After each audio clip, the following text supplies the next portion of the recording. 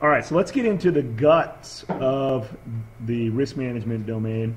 And specifically, when we talk about the assessments component, there's some key words that you need to know in order to be successful on this exam. You'll probably have eight to 10 questions on this topic, so pay attention here. Specifically, ALE, ARO, and the SLE are things that you will frequently see whenever we go in and start to talk about this a little bit more specifically. But first, what we need to do is we need to just have a basic understanding of what the difference is between a qualitative risk assessment and a quantitative risk assessment. I think it's easy. The way that I typically will remember it is a qualitative risk assessment is opinion based or scenario driven. So that's based off of your subject matter expertise, opinion based or scenario driven. Whereas a quantitative risk assessment involves numeric calculations or money,